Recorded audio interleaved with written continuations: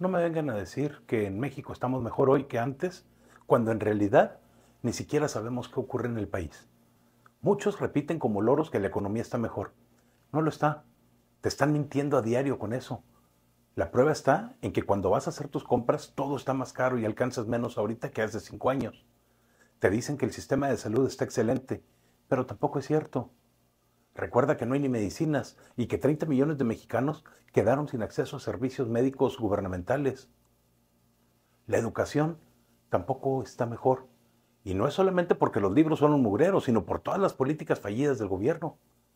La seguridad definitivamente está peor que antes y los criminales están sin control ni oposición por parte de un gobierno que los defiende en lugar de defender a los ciudadanos. ¿Y los ciudadanos? ¿Para cuándo tendrán derecho a saber en qué se gasta su dinero? Muchos me dirán que hoy tenemos el gobierno más transparente de la historia, pero eso tampoco es cierto. Para ejemplo, les pongo algunos botones. Cuando se cayó el helicóptero de Marta Erika Alonso y Rafael Moreno Valle, la Secretaría de Comunicaciones y Transportes reservó las grabaciones de la cabina hasta el final del sexenio de López Obrador, aludiendo seguridad nacional. Cuando se cayó el Repsamen, la Secretaría de Educación Pública reservó el expediente del colegio por cinco años, aludiendo a la seguridad nacional. El dirigente periodista Raúl Flores lo describió en aquella época, en aquella época como una maniobra para diluir la responsabilidad de Claudia Sheinbaum.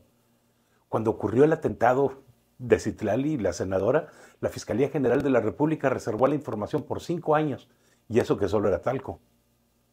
Cuando se descubrió que el doctor doctor Ackerman no era quien decía ser, su información académica se reservó también por cinco años por cuestiones de seguridad nacional. Después, reservaron todo el expediente de Santa Lucía por cinco años más para evitar, dijeron, algún sabotaje a las obras del aeropuerto. Cuando capturaron y liberaron a Ovidio Guzmán, todos los expedientes al, respecto fueron clasificados por cinco años, aludiendo otra vez a la seguridad nacional. El Instituto Nacional de Bellas Artes y Literatura también reservó toda la información del homenaje a Nazón Joaquín García en el Palacio de Bellas Artes por cinco años. Martí Batres va a tener mucho que explicar de esto. Cuando se canceló el aeropuerto de Texcoco, la Sedena clasificó la información del Aeropuerto Internacional Felipe Ángeles como confidencial debido a la seguridad nacional. Dijeron que en esta ocasión era para evitar lo que los narcos utilizaran el aeropuerto para traficar drogas.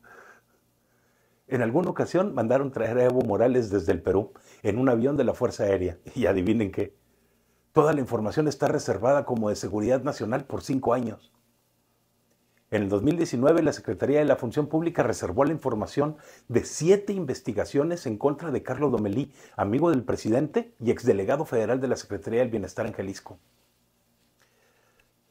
Cuando comenzaron a combatir el huachicoleo, también reservaron la información que tenía Sedena por cinco años, alegando otra vez seguridad nacional.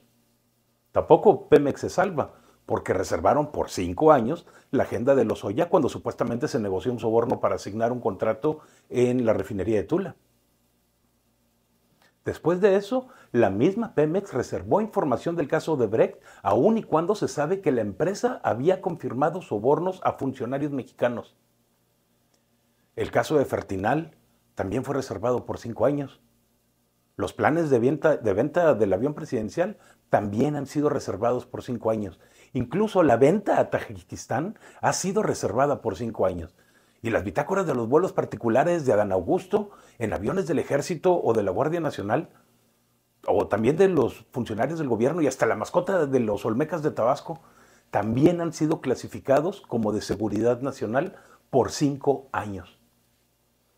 Los contratos para las vacunas de COVID también fueron reservados por cinco años al igual que la compra de Pegasus, el software espía que tanto negaron utilizar, los detalles de las operaciones de la DEA en México. Y se dicen transparentes, realmente qué es lo que están ocultando, qué es lo que no quieren que veamos.